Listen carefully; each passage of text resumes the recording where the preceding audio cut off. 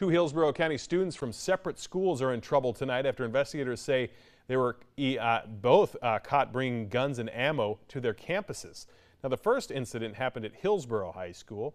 Investigators say they received a tip about a student vaping in a school restroom.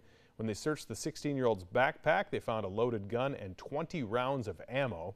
So far, there's no indication the student was planning to hurt anyone, but the investigation is not over. The second gun was found at Spoto High School in Riverview on a very in a very similar way. A school resource deputy was told that a bathroom smelled like marijuana. So when they searched the 16-year-old student, they found a handgun, 22 rounds of ammunition, and this bag of marijuana. He's now facing multiple charges, including possession of a weapon on school property.